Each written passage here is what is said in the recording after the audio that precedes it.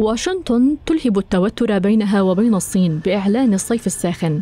فقد كشف البيت الأبيض النقاب عن حزمة مساعدات عسكرية لتايوان بقيمة 345 مليون دولار.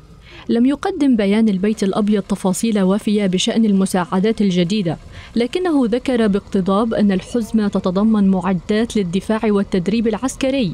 وقبل ذلك أشارت مصادر أمريكية إلى أن المساعدات الجديدة تشمل أنظمة مراقبة واستطلاع وذخيرة وقطع غيار. تطمئن واشنطن حليفتها تايبي بأن دعمها لها راسخ. فقد اعتمد الكونغرس في ميزانية عام 2023 ما يصل إلى مليار دولار من مساعدات الأسلحة لتايوان بموجب سلطة السحب الرئاسي. وهذه آلية تتيح للحكومة تقديم المساعدة العسكرية الطارئة لحلفاء الولايات المتحدة وشركائها في وقت الأزمات.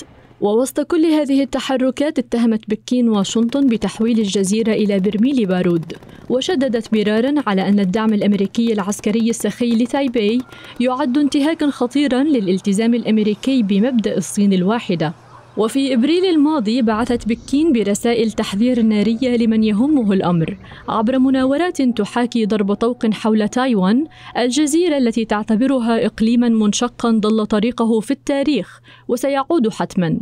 وكل ذلك يحاصر المحاولات الأخيرة لاحتواء التوتر بين الجانبين الصيني والأمريكي قبل أن تمضي الأمور نحو المواجهة الأخطر.